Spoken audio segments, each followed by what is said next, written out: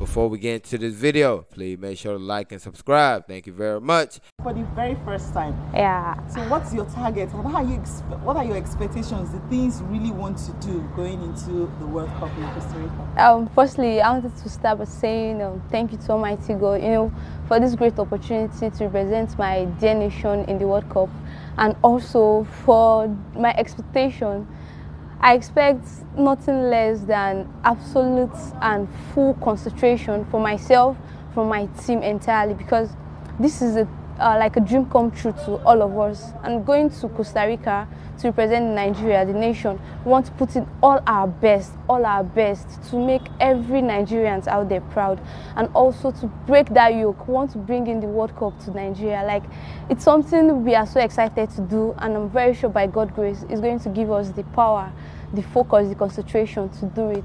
Thank you so much.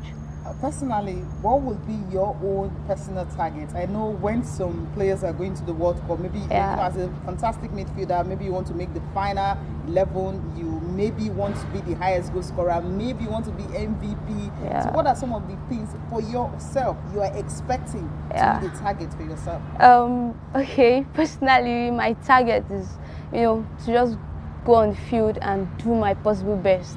Just to do my best. If the goals come, fine, I'll take advantage of it. I'll make good use of it.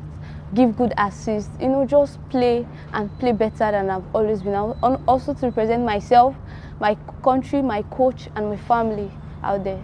Finally, how's the atmosphere in camp be like? Yes, you wrap up camping and you're ready to head for Costa Rica. Yeah, you know, camp has been a wonderful exposure and experience for all of us because here in this camp we are like family. If we are not like family, we are family, and definitely we are united. We love each other. We just want to go out there and show Nigerians what we've been taught, the knowledge our coaches has impacted into us. Thank you so much.